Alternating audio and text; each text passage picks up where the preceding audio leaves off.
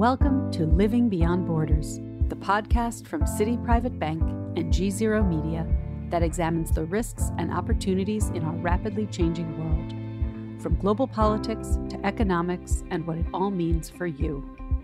I'm Caitlin Dean, head of the geostrategy practice at Eurasia Group. For decades, two city states lived in relative peace. Sparta was known far and wide as the most powerful entity in Greece unmatched in its military might and prosperity. That is, until Sparta's neighbor to the north, Athens, began to amass wealth and power as well. In his History of the Peloponnesian War, the ancient historian Thucydides put it this way It was the rise of Athens and the fear that this instilled in Sparta that made war inevitable. That idea, that war is inevitable when one group starts to challenge the dominant power, became the basis of a 21st century theory called the Thucydides trap. And while not everyone has agreed with Graham Allison's theory, the idea has made a lasting impression on those looking for a framework for the modern relationship between China and the United States. This rivalry is always shifting, and the latest shifts come as a result of new leadership in the United States and new policy decisions in China. These latest developments are likely to have lasting impacts on the global economy and geopolitical balance.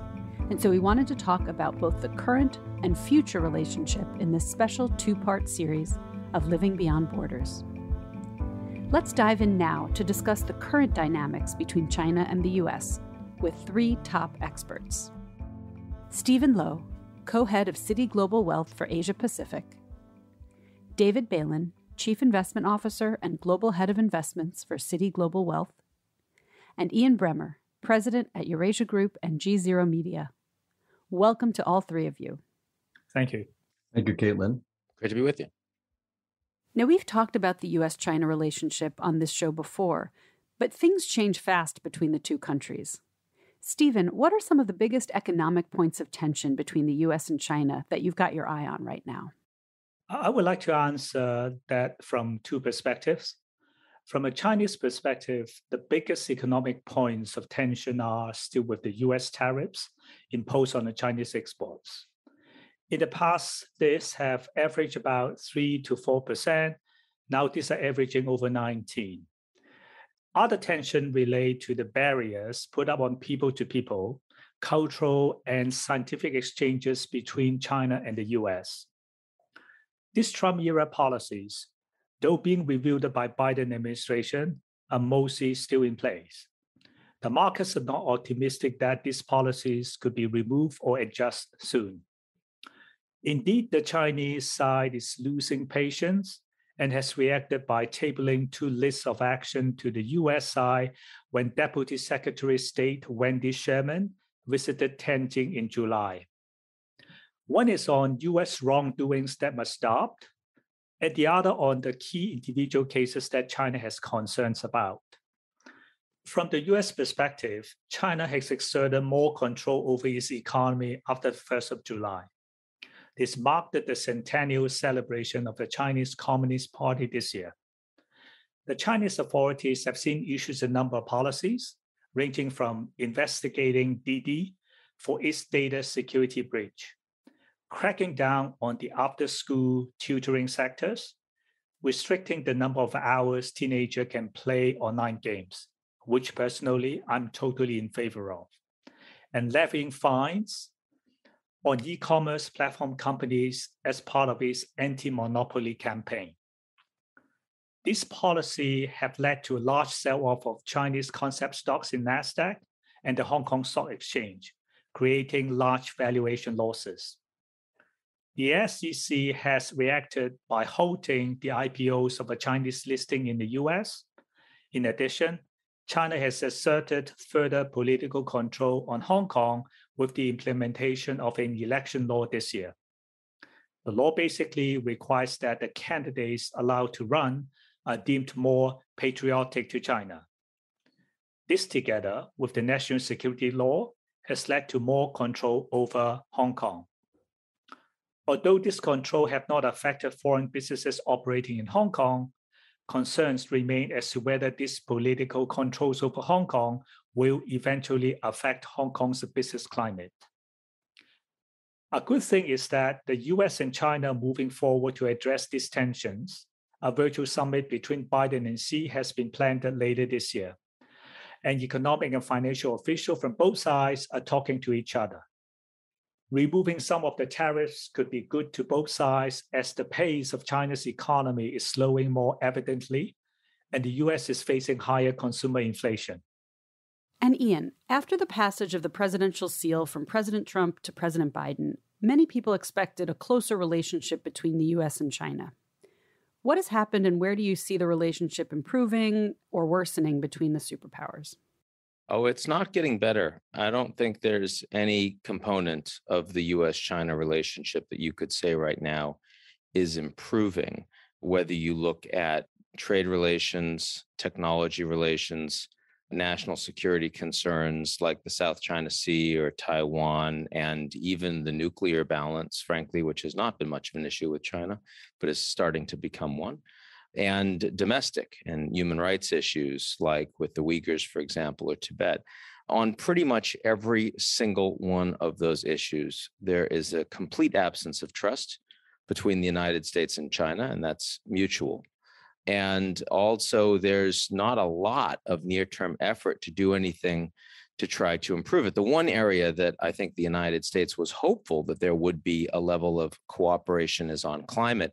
And the Chinese government has repeatedly made clear that as long as the extant relationship between the two countries is what I just described, there will be no warmth. Having said that, I would say that the US China relationship feels a little bit more stable, a little bit less uncertain, a little bit less volatile today than it did three or six months ago. You'll remember that the first meeting between the Biden team and the Chinese foreign policy team in Anchorage was a disaster. It was by far the worst meeting in foreign policy the Biden administration has had with any country to date. There has been significant efforts to calm the temperature on the direct bilateral relations between the two countries that I think have been successful, both in Zurich when Jake Sullivan met with his counterpart a few weeks ago from Beijing, when Biden said at the UN General Assembly meeting that the US is not in a Cold War with China. Uh, and the Chinese have viewed that as constructive and appreciate it. And I think that it does mean that both sides want to at least avoid the potential for a precipitate crisis between the two countries. They'd like to ensure that relations don't get much worse all of a sudden on any of these issues. Okay, so maybe not substantively better, but at least there's there's a floor under which we we hope it won't go any lower.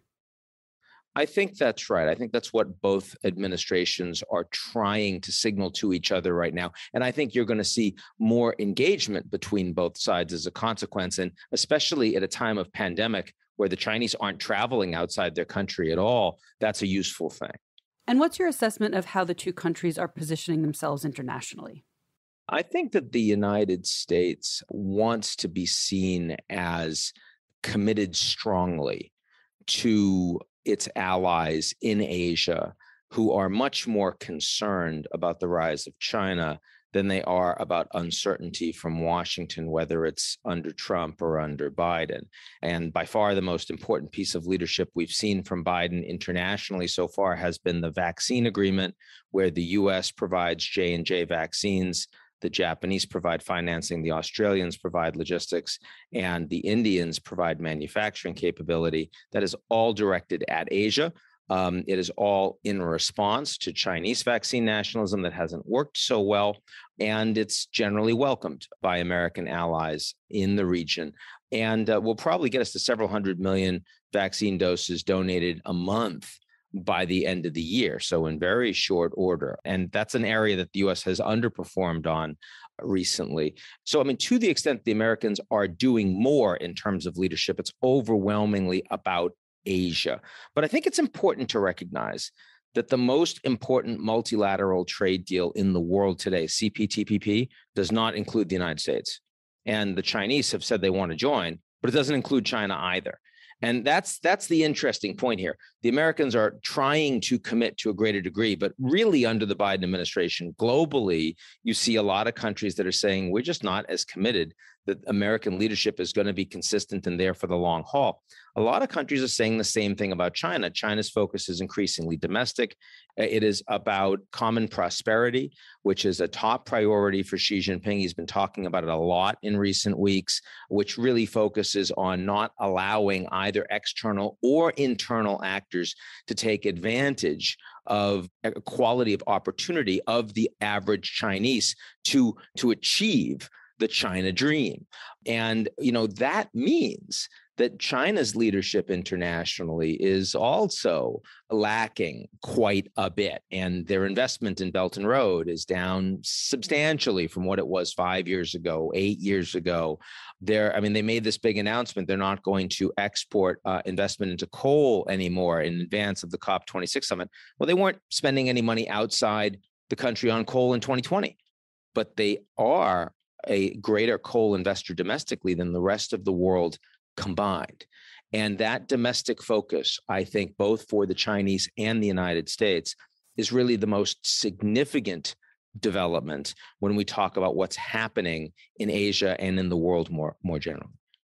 David, let's dig a little deeper into how the tension between the countries and China's regulatory changes and policy changes are affecting markets and foreign investment into China. How will it impact China's economic growth and its competitiveness and its exports?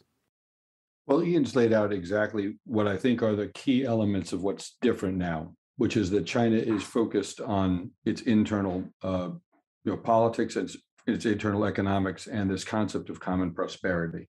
And you can see that in a variety of ways. But the most obvious ones, I think, have to do with the idea of not focusing on the creation of billionaires and centimillionaires, but actually focusing on the access to wealth for the average person in China we wrote about six weeks ago about the idea that if China is going to continue to grow, it needs to bring another 150 million or 200 million people into its middle class. That is the future engine of growth for China. And to do so, uh, Xi Jinping has actually taken steps that I think are very, very uh, harsh when looked at from a Western perspective, but consistent with that objective. And let's talk a little bit about what those are. First of all, in the entire chapter of this real estate subject, which began with Evergrande, but is much deeper than that. What's really going on is to clamp down on speculation, the purchase of second and third homes as investment property for the upper middle class and wealthy in China, and the creation of billionaires as a result through the uh, ownership of those development companies, all financed by Chinese banks. And now to say, wait a minute, we want to make sure that these housing units are available to more Chinese, right, to more middle class people moving and urbanizing the near term impact of that is terrible, right? From a Western perspective, we're seeing a huge clampdown on uh, on the development, you know, new development, which hurts Chinese economy, right, over the next two to three years.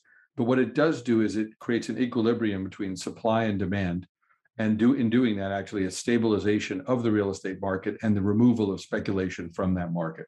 And similarly, what we don't understand in the West, but what's going on in China is that by clamping down on technology companies and specifically on unbridled growth, and I'll give you a specific, specific example of this, what you actually have is that the corner store in China can be maintained. And that is important also for common prosperity, which is to say that the displacement of all retail, the displacement of all businesses in China rapidly by technology, which could have occurred at a very rapid clip, even more so than in the United States, um, is something that that Xi Jinping wants to actually slow down to allow a more orderly transformation uh, with, within that economy. And so that I think speaks to the clampdown in general on all technology companies, especially those that are, are consumer facing. So there is pretty great consistency in the policies from our point of view, you know, that are being done in China for the reasons that they are, and they're very different than Western policies than what we'd expect to see. Now, you asked a little bit about the you know impact of all of this, right? Well, the impact on markets is terrible. That is to say, if you're an investor in stocks and, a, and someone comes in and delays your ability to grow and slows your earnings growth rate, changes the way that you invest capital, your stock price would go down. And that's exactly what has happened in China. What's interesting, if you look at the market, is that their internal market, that's the A share market, has actually done much better than the foreign markets. And that reflects the concern of external investors, right? Foreign investors that what they've done is they've delayed and changed the earnings profile of their companies. Whereas domestic investors, you know, probably are not as aware of that and therefore are much more sanguine about it. Um, what all of this does, though, is it changes the dynamic of how Western companies will consider investing in China. It is far less attractive to invest in China, to take foreign money and move it into China under these circumstances. Uh, and the last thing I just wanted to touch upon is that all of this is going to substantially slow China's growth over the next six to 12 months, potentially to as low as 4% growth from what would have been considered a low rate of growth at 7% just two years ago. So Xi Jinping seems to be willing to take substantial economic pain in terms of Chinese growth in order to uh, actually implement these strategies that are pretty radical. Ian, some of China's policies are having unintended consequences. China's stock market is suffering and it's put constraints on major industries like technology and real estate. So, what does all of this mean for Xi's the future Xi's future as leader? Well, uh, first of all, it's not a democracy, and the consolidation of power in China is not absolute, but it's uh, very significant. It's much greater today than it was five years ago, 10 years ago. It's more uh, similar to Putin's control in the Kremlin than it, was. I think that most of the concerns that David has raised which do create uh, bigger uncertainties around foreign investors into China, does create more downward pressure on China's markets, market performance. But uh, there really, most of it has been in service of the average Chinese citizen. I mean, give you an example. The decision of the Chinese government to say that if you're under 18, you're playing three hours of video games maximum a week. That's it. And if you don't use those hours, you lose them. They don't roll over. Um, that that was an enormous shot against a massive industry inside China. And and you know the the consumer sector and the the children consumer sector for video games is the largest in the world today, and yet the Chinese government overnight said sorry, it's gone. Now, is that in service of Xi's reelection? I would say it is.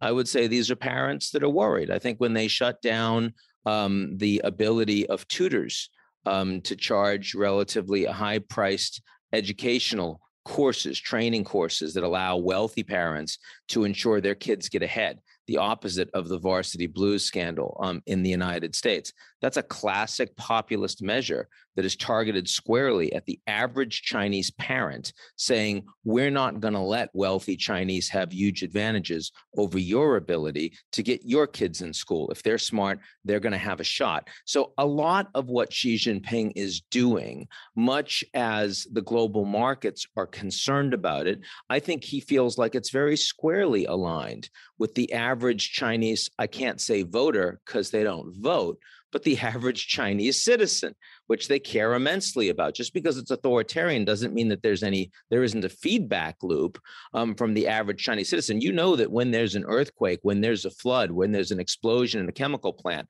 the Chinese leadership shows up very quickly and wants to, you know, wants to be seen as cracking heads who was involved, who's responsible, where was the corruption, where was the mistake. Those people should go to jail forever. Those people should lose their party membership. And meanwhile, you know, the the the top leadership of China should be seen as trying to work their best for the average citizen in China. Now that's increasingly hard to do when when um, the level of wealth at the top has become as great as it has, and when the um, ability uh, the inequality in, China, in China of, of, realities in terms of economic distribution is greater today than it was 10 years ago. It's greater today than it is most of the West. But still, that's the message that they're trying to deliver. The one caveat I would give you is we do not have the same level of insight into policy making decisions in China as we do in any Western democracy. And you know, Xi Jinping is increasingly surrounding himself with a group of people that agree with him. And, and frequently in authoritarian states, that means that bad news is not delivered effectively. This is not a place where everyone is telling Xi, you screwed up if you screwed up. I mean, there that that's that's just not a recipe to winning. And that's of course how they how they messed up at the beginning in terms of what we know about the pandemic's origins. You had a lot of people that were very scared to deliver bad news in an honest fashion all the way up the chain in Beijing. And as a consequence, there was a cover up which has had massive damage, not only for the Chinese consumer, but now, uh, you know, experiencing that all over the world. And what about President Xi's more assertive tone on Taiwan? How has that played domestically, and how has the U.S. responded? I'm not sure that's the right frame for the question.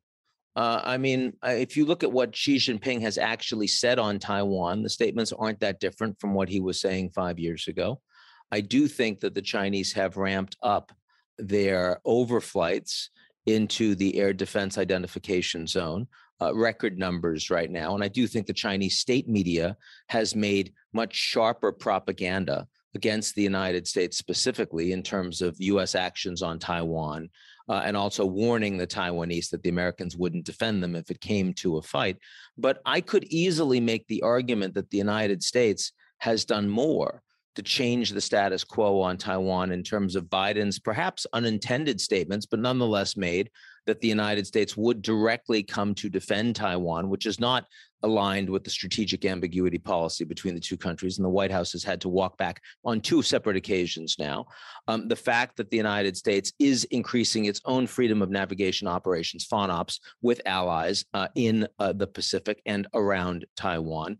Um, that there have been calls from uh, top U.S. officials that Taiwan should play a more significant role across all of the United Nations organizations, as well as the AUKUS and the Quad agreements, even though they don't they never mention China, but they're all oriented at China and they're oriented around Taiwan. So again, I, I, if you were if you were to ask this question from a Beijing perspective, or even the perspective of a third party that was disinterested, I think it would feel differently than just talking about Xi Jinping's assertive tone.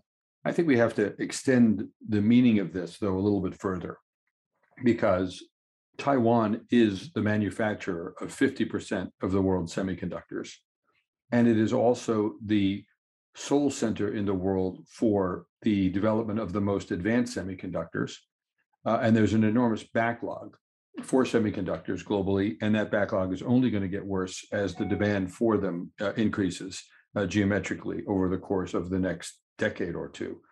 And that Taiwan is the flashpoint, uh, is of great significance to the global economy, and the perception that there could be a takeover, military takeover uh, of Taiwan, or you know even an intervention that would be significant, I think is a major top ten and probably top five worry of uh, of anyone who's an investor around the world, or frankly anyone manufacturing anything. And the other point is that as the two countries bifurcate, uh, and the Chinese do not have as much access to the intellectual you know, capital that they need in order to develop new semiconductors they'll find themselves increasingly behind in their ability to manufacture the most advanced technology. And therefore, Taiwan will, in, in, my view, become a more attractive takeover target over the next five years than it even is now. Because as there's less foreign investment in China, less development of product in China, less R&D by Western firms in China, then the Chinese are going to have to either develop these technologies themselves or actually seek to get them in other ways. And it's not going to be possible for them to just buy them. That's one of the big changes that occurred after uh, President Trump was in office. So I think Taiwan as a flashpoint actually has more uh, potency now than it has had ever in terms of its importance and the reason why it might be a flashpoint because of China's greater needs for technology and for semiconductors in particular. Uh, David, I, I, agree with that completely. Uh, Taiwan is becoming more important to both countries, and the semiconductor piece is absolutely critical. Here, yet again, I would say the United States perhaps is doing at least as much to change the status quo.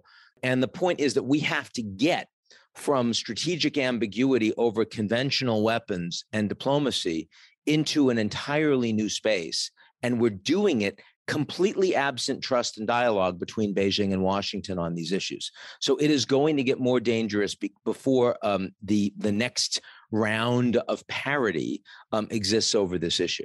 And Steven, who do you see as the possible winners and losers coming out of these interventions? Sure, Caitlin. While the recent policy actions may have good social economic intentions, certain policies may have gone overboard. For example, making or after school tutoring forms non-profit has made those already listed company non-viable. These companies and investors who have put money in them will lose out. In addition, The lack of communication with the markets and the industry alike has led to large market volatilities and excessive sell offs of China concept stocks. Because of losses suffered, foreign institutional investors are now hesitant in investing in China. In the medium term, there could be also winners coming out of these interventions. Restraining expansion of capital could be beneficial to small and medium-sized tech companies. It will allow them to compete against the deeper pockets of the bigger Chinese tech companies by slowing their pace. Future unicorns could continue to emerge from these small and medium tech companies.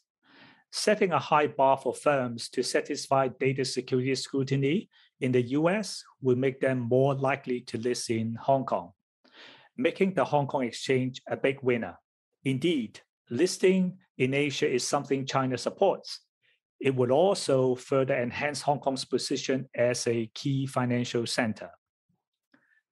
The resolve to address significant income equality will lead to wage increases and more provision of public goods.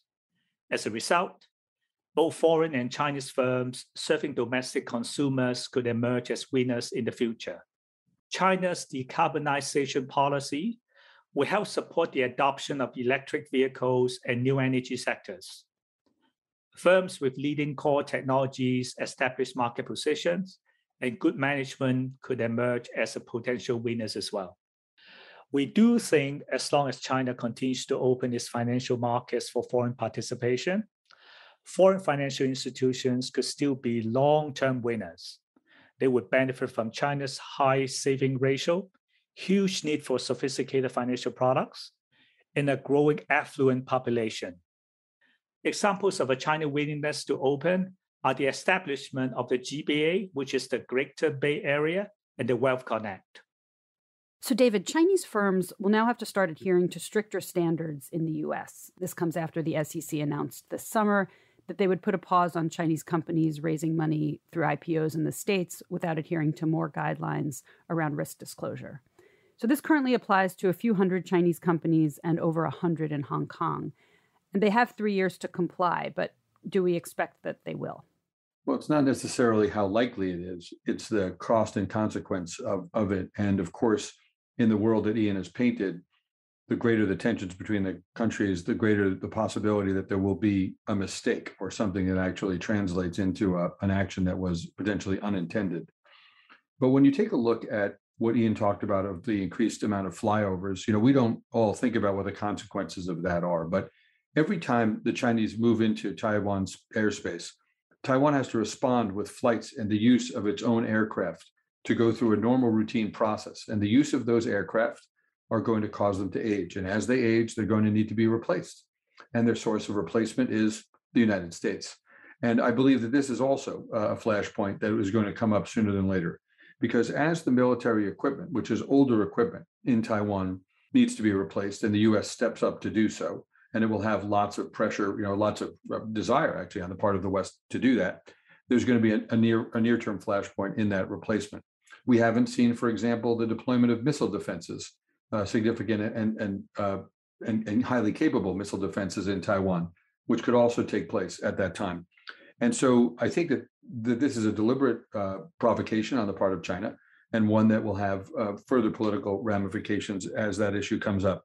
But these are the things that are not apparent to the average investor, but to us they represent very significant risks. Um, and one of, it's one of the reasons why five years from now we're going to see a lot more onshoring of a lot of different technologies in the West and a major, major thrust to investment in the West uh, and a whole range of different things just to avoid this exact circumstances, dependencies on on you know, countries that are immediately adjacent to China and therefore uh, potentially you know cratering a, a global supply chain that the world absolutely has to have.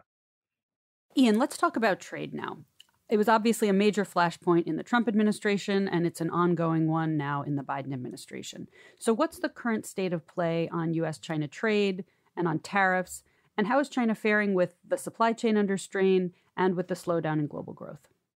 Um, the state of play on US China trade uh, is that uh, President Biden uh, understands enormous political pressure um, not to be seen as soft on China, even though he does not believe that a policy of high tariffs between the two largest economies of the world is constructive for the United States.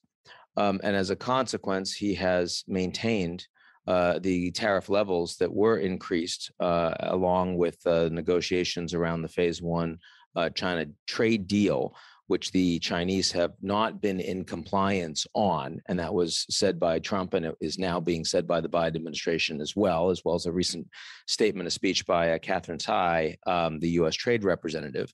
Um, they are implementing a larger number of exemptions that can be applied for to get around those tariffs for companies uh, that have important reasons domestically aligned with national security um, to do so, um, and, uh, and and the level of lobbying that goes on in the United States from special interests to ensure that they can apply for those exemptions is the single thing that the Secretary of uh, Commerce has made uh, her top priority in her engagement and her department's engagement in the US China relationship so far. But what that means is that the ability to significantly reduce tariffs from their present levels uh, on the part of the United States is virtually zero um, in the in the foreseeable future. So you should be everybody in that's investing should be thinking of that as their baseline going forward. Um, there's not pressure to increase them, but there's a lot of resistance to be able to take them off, um, especially because you've got midterm elections coming up right now. Biden's approval ratings are roughly around 40. That's the lowest they've been for any president, with the exception of Trump, um, in modern history. Um, and as a consequence, the, you know they're probably going to lose one or both houses. They need to do everything they can uh, to maintain their domestic political bona fides, and that that includes being seen as comparatively tough on China. Um, in terms of the Chinese uh, supply chain, uh, I would say the supply chain is okay right now, um, but there are much bigger uncertainties for shutdowns uh, simply because there is zero tolerance uh, for COVID spread and the Chinese vaccines. They're starting to import Pfizer, which is good. They're doing that under the radar. You don't see it in the Chinese media, but they are doing it. But the Chinese vaccines that are, of course, the largest percentage of vaccines that have been actually, you know, jabs in arms that have been given around the world. I mean, this is where the numbers are, right? But um, they don't work very well, particularly against Delta. And so when you combine zero tolerance for spread and vaccines that don't work very well, what you get are lockdowns that suddenly can happen in large provinces, even when there are only a few cases. And that can and will continue to, to lead to rolling um, shortages um, in supply chain. Um, and we're ex- we've been experiencing that. We're going to continue to experience that. I mean, the interesting thing is, you remember a year ago now, China was by far the first country that was able to get its supply chain back up and running because they took these draconian measures. And that was great when you had a much lower variant spread. But in this environment, you know, it's just, it's almost impossible for a country the size of China to have uh, COVID under control. And that means economic challenges uh, all across the board. We'll return next time with more from Steven Lo, co head of Citi Global Wealth for Asia Pacific, David Bailin, Chief Investment Officer and Global Head of Investments at Citi Global Wealth, and Ian Bremmer, President at Eurasia Group and GZERO Media. That's it for this episode of Living Beyond Borders. Next time, we'll continue our deep dive on the relationship between the US and China, moving from where we are now to where each power goes in the future. I'm Caitlin Dean. Thanks for listening.